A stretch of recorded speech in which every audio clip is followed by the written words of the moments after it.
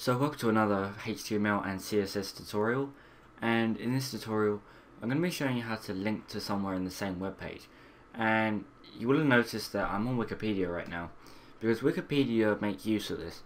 So you see here we've got the contents area. Now instead of just having to like let's say I want to go to delivery instead of having to scroll down and find it and everything instead of having to do this because you see this is time consuming there it is what we can do is we can just go and click on delivery and it jumps us there. And you'll notice that we're in the same web page but in the URL it's added this hash delivery and the same uh, thing with all the other links.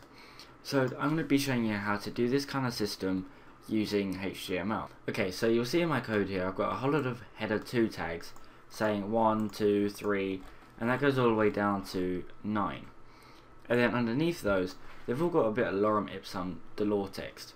Now these aren't in paragraph, uh, paragraph tags, but you can put them in that if you want to. It's not really necessary since that's not what the tutorial is focusing on.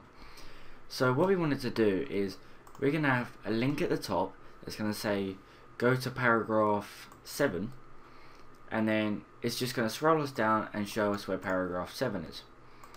So the first thing we need to do is on this H2 here, after it, we're going to put A and then name.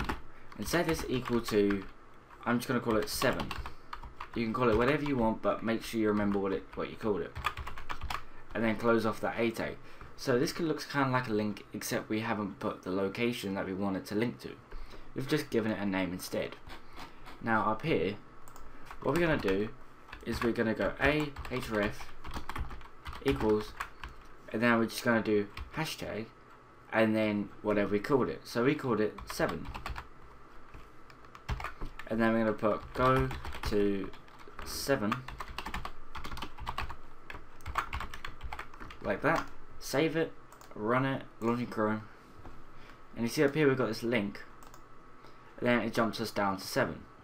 Which is pretty cool. So now we don't have to like scroll down and find where 7 is. We can just click on the link and uh, some sites use this to, for things like go to top. So you might see at the bottom of the page it will say go to the top or something like that. But that's your quick tutorial on how to link within the same page. So thank you for watching this tutorial. Don't forget to comment rate subscribe. And I'll see you in the next tutorial